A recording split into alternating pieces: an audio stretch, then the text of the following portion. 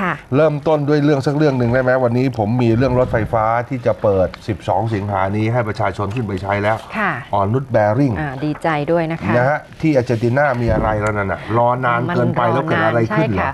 บังเอิญว่ารถไฟเนี่ยนะคะมันมีอยู่ขบวนหนึ่งมันตกรางทำให้รถไฟขบวนอื่นเนี่ยมันไปไม่ได้เลย ทีนี้ผู้โดยสารที่รออยู่ที่สถานีรถไฟต่างๆเนี่ยรอแล้วรออีกรอนานมาก รอจนโมโห โมแล้โหวด่ากันก็แล้วอะไรก็แล้ว มันโมโหถึงขั้นสุดขีดจุดไฟเผาอ้าวรถไฟที่จอโอ้ดยอยู่ที่นั่นซะเลย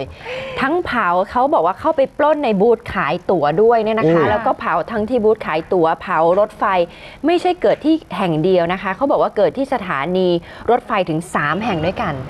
คือมันโมโหอย่างรุนแรงนะคะ แล้วคือเจ้าหโมน้าโหที่ยังไงก็ไม่ควรจะเผาอะนะคะคือคือเหตุของการช้าของรถไฟเนี่ยมันพอมันก็ต้องยอมรับกันอะคือรถไฟมันตกรางน่ะแล้วมันก็เลยทำให้ขบวนอื่นมันติดกันไปหมด ขนาดเจ้าหน้าที่ดับเพลิงเนี่ยนะคะเขาบอกว่าตอนที่เข้าไปในสถานีรถไฟเพื่อที่จะพยายามดับเพลิงเนี่ยไม่ใช่เข้าไปง่าย ๆ เพราะพอเห็นพนักงานดับเพลิงมาเนี่ยพวกผู้โดยสารหรือพวกคนที่กำลังก่อเหตุอยู่ เอาหินคว้างบ้างอะไรบ้าง คือโมโหอย่างรุนแรง แต่เขาก็ไม่ได้บอกจริง ๆนะคะว่า ให้รอมานานแค่ไหนถึงได้โมโหขนาดนี้นะคะ